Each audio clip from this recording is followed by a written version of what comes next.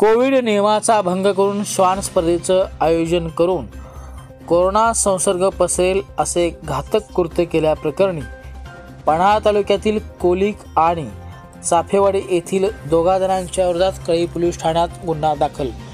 Covid नियमाचा भंग करून पन्हाळा तालुक्यातील कोलिक येथील चाफेवाडी ते पडसा येथील रोडवर आज दुपारी एक वाजता श्वान स्पर्धेचं आयोजन करण्यात आलं होतं.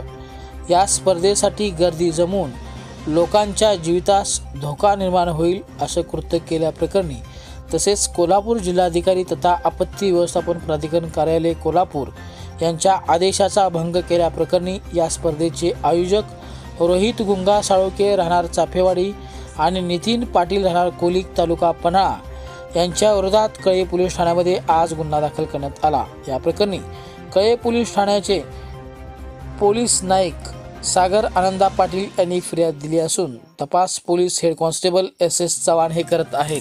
प्रतिनिधी संदीप खवळे कोल्हापूर जन्मन वार्ता.